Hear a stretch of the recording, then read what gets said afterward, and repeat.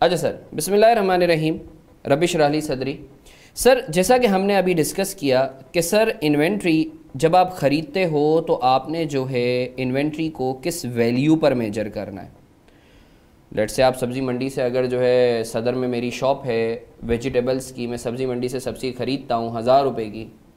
सही है transportation charges जो है मैं इनकर करता हूँ सौ रुपये के।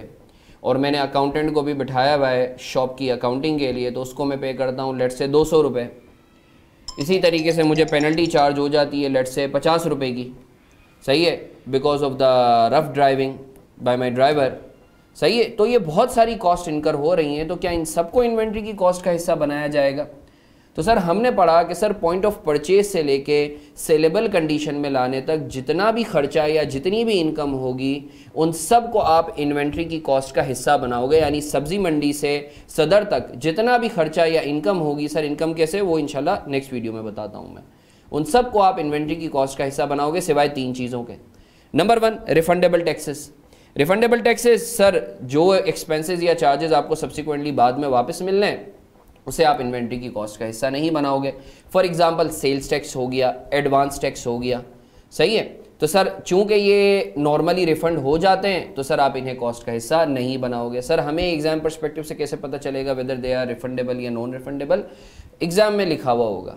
कि कौन से रिफंडेबल है। सर, नहीं लिखा हुआ हो तो ये मैंने बाकायदा आपके लिए एजम्पन लिखवा दी है कि सर सेल्स टैक्स या advance tax are normally presume to be refundable इसी तरीके से इम्पोर्ट ड्यूटी और custom duty are normally presume to be non refundable अच्छा सर, फिर हमने देखा कि सर एबनॉर्मल चार्जेस जो हैं, वो क्या होते हैं? सर, वो चार्जेस जो कंपनी अवॉइड कर सकती है, या वो चार्जेस जो कंपनी की इनएफिशिएंसी की वजह से इनकर होते हैं, वो एबनॉर्मल होते हैं। और एबनॉर्मल चार्जेस को आप इन्वेंट्री की कॉस्ट का हिस्सा नहीं बनाते। सर, क्यों नहीं बनाते? क्यों नहीं बनाते? क्योंकि स्टैंडर्ड स्टेट्स के भाई आपकी इनएफिशिएंसी का आप बर्डन इन्वेंट्री की कॉस्ट में नहीं डालो। आप उसको एक्सपेंस आउट कर दो इन्वेंट्री की कॉस्ट का हिस्सा नहीं बनेगा। Sir for example penalty penalties हो गई आपकी।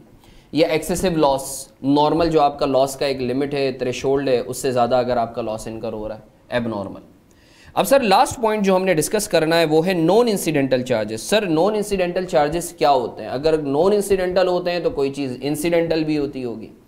तो सर, आसान सा डिफरेंस याद कर लो. सर वो चार्जेस या वो एक्सपेंसेस अगर तो आप इन्वेंट्री खरीदोगे तो ही इनकर होंगे. तो these charges are called incidental charges अगर आप नहीं खरीदोगे तो वो इनकर नहीं होंगे. इसके बरक्स non incidental charges irrespective of आप इन्वेंट्री खरीदो या ना खरीदो they have to be incurred these are called non incidental charges sir example दें। अभी जैसे मैंने आपको बताया कि सदर में मेरा जो है सब्ज़ी की शॉप है वेजिटेबल की शॉप है। ठीक है ना? मैं लेट से सब्ज़ी खरीदता हूँ हज़ार रुपये की ट्रांसपोर्टेशन चार्जेस पे करता हूँ सौ रुपये के। और मैंने एक अकाउंटेंट रखा हुआ है जो शॉप की जो है वो बुक कीपिंग करता है रिकॉर्डिंग करता है, सारे शॉप की मैनेजमेंट करता है। उसको मैं दो सौ रुपये देता हूँ एग्ज़ाम्पल दे रहा हूँ। अब सर मुझे बताओ परचेस जो मैंने सब्ज़ी खरीदी है, हज़ार रुपये की, वो तो उसकी कॉस्ट है, वो तो आनी आनी है।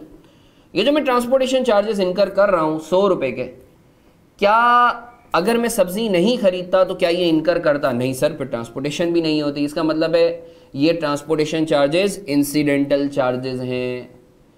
इसके बरक्स अकाउंटेंट को जो मैं सैलरी दे रहा हूँ, दो सौ रुपये क्या ये इंसिडेंटल है? मैं इन्वेंट्री खरीदूं या ना खरीदूं? अकाउंटेंट तो बोलेगा, भाई, मुझे मेरी बुक कीपिंग के पैसे दो। नॉन इंसिडेंटल और अज्यूम कर लो, मैंने एचआर का जो है एक बंदा भी रखा हुआ है। अब शॉप बहुत बड़ी है तो एक मैनेजमेंट के लिए मैंने एक बंदा रखा हुआ है जो सारी चीज़ों को वहाँ मैनेज करता है। उसको मैं तीन सौ रुपये देता हूँ।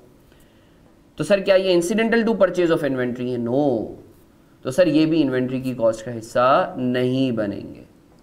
तो आई होप आपको क्लियर है कि इंसिडेंटल चार्जेस और नॉन इंसिडेंटल चार्जेस क्या होते हैं? और नॉन इंसिडेंटल चार्जेस को हम इन्वेंट्री की कॉस्ट का हिस्सा नहीं बनाते, जबकि इंसिडेंटल चार्जेस को आप इन्वेंट्री की कॉस्ट का हिस्सा बनाते हैं।